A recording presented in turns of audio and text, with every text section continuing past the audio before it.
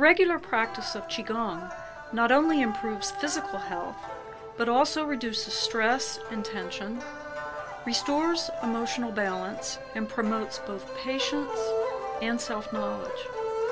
24 Posture Therapeutic Qigong is a set of exercises also designed for the relief of neck, shoulder, and back pain, and for the rehabilitation of chronic illnesses such as arthritis, heart disease, diabetes, and other conditions.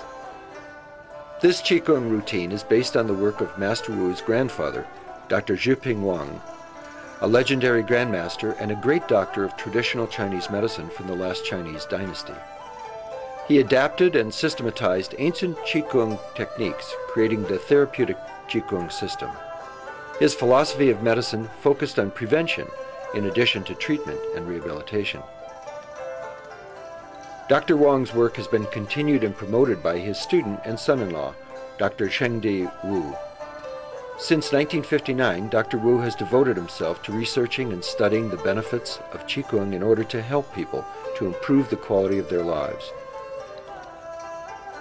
Since 1982, Dr. Wang's granddaughter, Master Helen Wu, has been teaching and researching therapeutic Qigong. She has taught Qigong as part of the sports medicine programs at Shanghai Teachers University, and she currently teaches the Tai Chi program at the School of Kinesiology and Health Science at York University in Canada.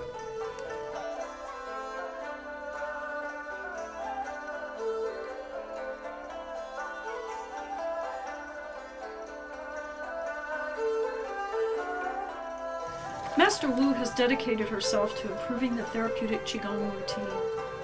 She has created a system that students anywhere in the world can practice and benefit from. Her system is used by instructors worldwide.